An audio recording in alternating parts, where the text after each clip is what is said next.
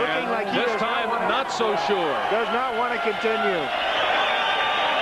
So in the second pro fight, Joe Mesi scores a second round knockout in his first fight three weeks ago on that big card at the Apollo Theater in New York City. Mesi a little nervous going in the first round, but uh, then settled down, loosened up. Joe Mesi getting set. There is the referee, Ernie Sharif from Pittsburgh. And he brings both fighters to the center of the ring as we get set for our first bout of the Uh, evening. you fellas Count have is jacked received up. your instructions in the See dressing Paul room. Spadafora in the main I want event. you to obey Unified my rules command will at all be used times and protect tonight yourself at all times. Are there any questions? for Any the bout. questions?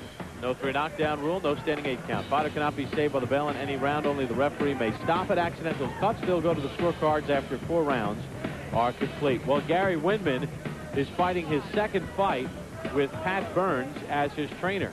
Pat Burns was one of the Olympic coaches in 1996, and he knows Joe Mesi very well. So maybe, Teddy, you tip the strategy side in favor of Winmon because his corner knows a lot more about Mesi than Mesi knows about Winmon.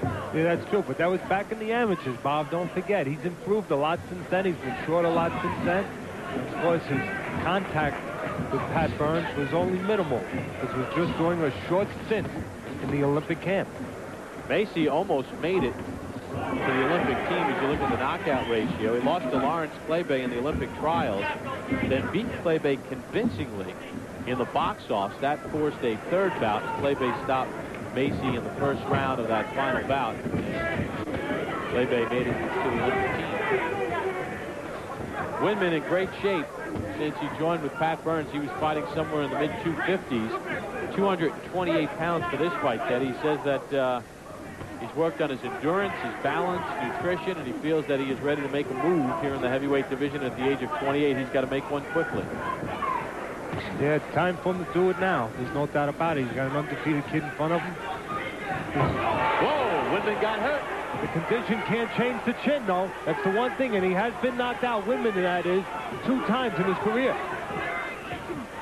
Mike Evans and Dave Dixon got it back in 93 and 94.